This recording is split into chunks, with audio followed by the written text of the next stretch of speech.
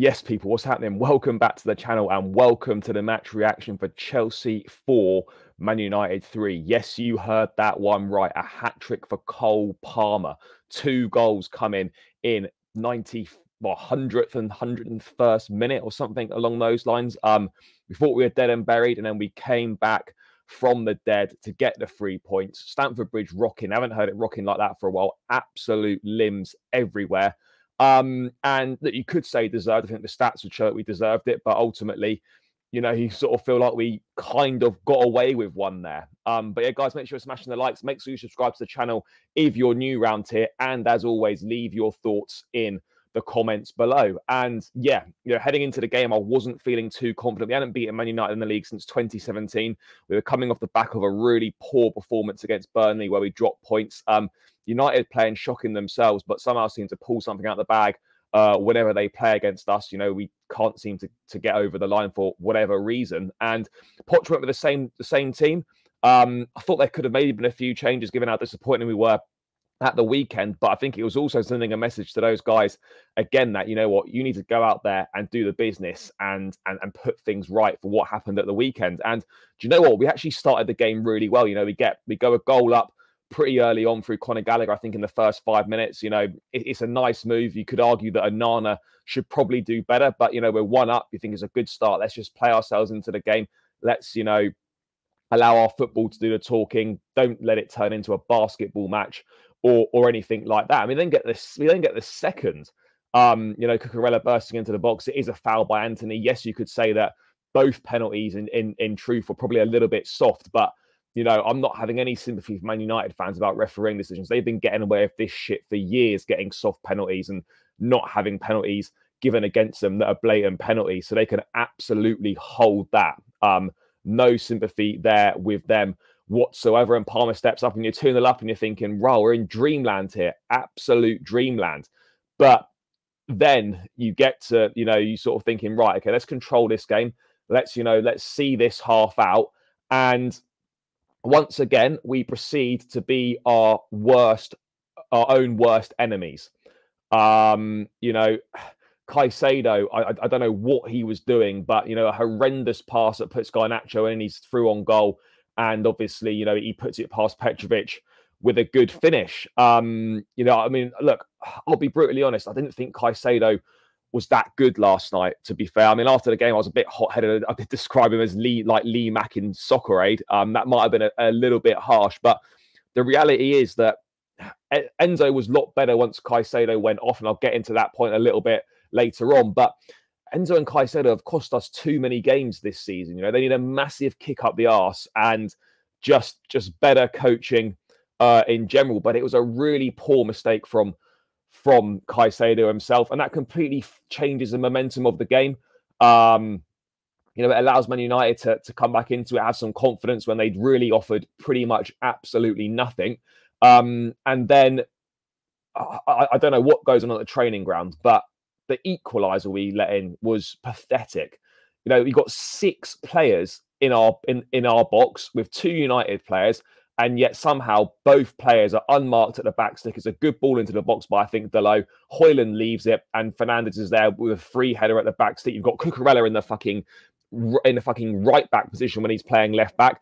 No one's picking up anything defensively. We don't seem to be knowing what we're doing at all, and it's two two. And it it was a half that epitomized what Chelsea is right now. You know, self destruct mentality of the team is so fragile, and the coaching, especially defensively, is so questionable.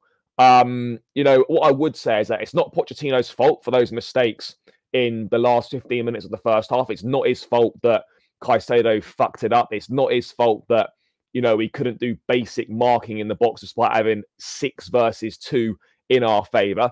But where he does deserve blame is this basketball type mentality we had until United got their third goal through Garnacho. You know, you've just done a team talk for fuck's sake. What are we doing? You know, he, he did redeem himself uh, with with the substitutions. Yes, you know, I felt they are probably a bit late. You know, wait until we go three two down to them to then bring bring the players on. But I mean, it was just crazy, absolutely crazy. But, you know, the win did look absolutely delighted we've won, by the way. And obviously, I've slept on it and, you know, the emotions drained out a little bit. But in the reality, what I've banged on about for a number of weeks now, months, is that what we're doing is not sustainable. There is zero defensive structure, there is zero midfield structure. And we are just freestyling an attack, waiting for Cole Palmer to do something. Like, that is not a way to be operating as a football team. That does need to change. That needs to change. I don't know how we change it, but that absolutely needs to change. Some just some of the defending is so bad. And you know, it's an indictment on the recruitment. You know, we've basically somehow ended up with Monaco centre back pairing from the 22-23 season. I mean, eh, is that is that is that upgrading? You know, we got rid of Mark, we got rid of Marc Guéhi, we got rid of Fikayo Tomori and we've ended up with the Monaco centre backs from the 22-23 season. Uh, uh, is that is that what we should be doing? Is that the right route to have gone down?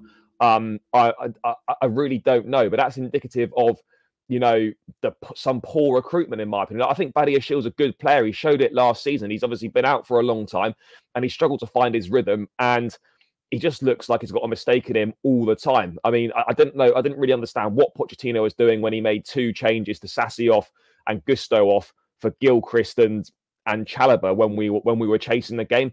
I didn't quite understand what that was. I could understand perhaps the the Gusto one, you know, maybe just managing his minutes slightly. But when you're chasing the game and you need a goal, I, I maybe would have left him on. But I mean, unless Disasi was injured, like I'm not really sure why he was replaced. I mean, Badiashile, in my opinion, was having uh, a far worse game than him. But ultimately, once again, we are bailed out by Cole Palmer we are Cole Palmer FC, and there is absolutely no getting away from it, no getting away from it whatsoever. I mean, what he is doing right now is utterly exceptional. I think he's averaging a goal or an assist every 89 minutes. Um, his corners from the penalty spot is is something else. Um, the guy doesn't seem to be phased, doesn't seem to um, you know, be phased by by pressure or anything like that. And he's now just two goals behind Erling Haaland um, in in the race for the Golden Boot, which is quite something. You know, 18 for Haaland, and then he's level with Watkins, Salah, and Solanke on 16 goals. So someone that is playing his first game, first season, sorry, playing regular football. He's playing in a team that are struggling, not playing well, mid-table, and what he's doing, in my opinion, is not getting enough credit because the team is doing so badly. If we were sort of in and around the top five, he'd be getting a lot more credit for what he's doing. But because the team's struggling, he's not getting the credit he deserves for what he's doing this season. He is doing what Eden Hazard used to do for us in seasons gone by, where the team's not good, but he just pulls us through matches through his own individual brilliance and his, and his exceptional talent. And he's doing exactly the same, similar to under Maurizio Sarri that Hazard was doing. The only difference is, is that we are so shit defensively that a lot of his hard work is going unrewarded because we're dropping so many points because we cannot defend. Um, but Palmer once again exceptional, like the penalties, um, and then great quick thinking from Enzo Fernandez for for the winner to take a short corner. United sleeping.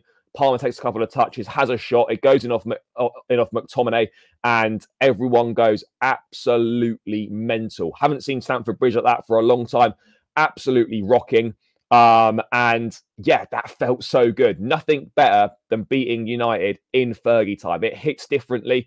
Um, couldn't have done it against a better team to do it against. You know, I cannot stand them smug. Um, that's what they've been doing to teams all season, playing horrendously and somehow getting away with it.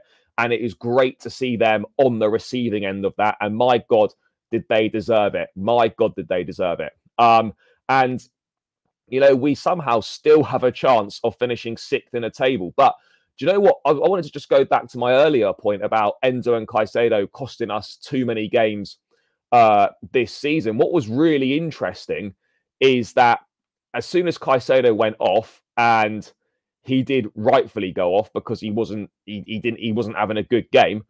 But I actually think I don't want to say the Enzo and Caicedo partnership doesn't work because it's not been given enough time. But I, am wondering whether this needs a bit of a rethink because as soon as Caicedo went off and Enzo dropped deeper, you know, he became so much more fluid again, so much more fluid again. Um, you know, him playing deeper, that's where that's where he plays. When Caicedo was off, Enzo dropped deep. We all saw the real Enzo Fernandez. That's where he should have been playing all season. That's where he should play from from now on. I don't know if Pochettino's going to do that. You know, you've seen another example there. Plays deeper, and he comes to life. That's what he does. That's what he offers. Um, and for the rest of the season, in my opinion, Enzo has to play deep. Caicedo as a second six, but that defensive line needs to be closer to the midfield line. And we can definitely push for that sixth position. But Enzo was so much better when Caicedo went off and he dropped deeper. That that's the reality of the situation. But I mean, Jesus Christ, what a night! What a night! Um, you know, and look, people say we didn't deserve it. I, I, said at the time, I think we've got we're lucky with one. But if you actually look at the stats for the game, it's very hard to argue against how we didn't deserve that because 50 ball possession are right, kind of irrelevant. Um, expected XG 3.5 to 1.6, 28 shots to 19, 10 shots on target to their five.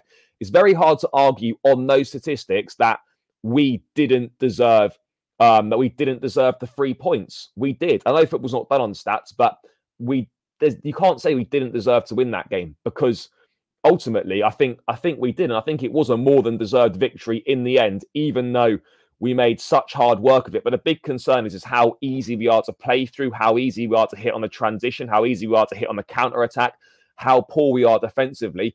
Like these things cannot be ignored. By all means, I'm absolutely delighted we won. Enjoy it, celebrate it. But that can that that we can't allow this to paper over the cracks of what is what are fundamental structural issues in this team that have been there for a long time now and we're not going to keep we're not going to outscore teams every game if you're having to score three or four goals to win a game every time it's just not going to happen if you're conceding an average of two goals per game which we have done now over 50 goals conceded this season like you're not going to win many football matches we have to tighten up defensively attacking wise we're, we're good you know yes, it, most of it's down to Cole Palmer, but they're good attacking wise. Madueke made a big difference when he came on. That directness, that one-on-one dribbling.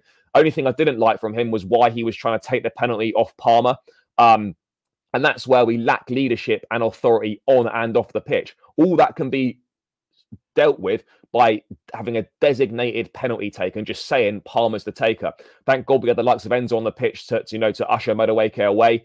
Um, you know, and yeah, he was annoyed about it, but Palmer's the taker. It's as simple as that. I like you shouldn't be wanting the penalty when you know who the penalty taker is. The only time you should switch the penalty taker is if they've missed uh, a few and they're taken off duty, or if you're three or four up in a game, you hand it over to someone else to kind of boost their confidence, give them a chance to get on the score sheet. But that once again is indicative of a lack of leadership and authority both on and off the pitch. But this was massive for Pochettino. You could see with his emotion at the end. Um, I don't know if it's enough to save him or whatever, but you know, it almost felt like what Dortmund was last season for Potter. This feels like Pochettino's uh, Dortmund. But whether we can push on and, and finish the season strongly is is is, a, is, a, is, a, is another question. You know, you just don't know what you're going to get from this team. Sheffield United on Sunday.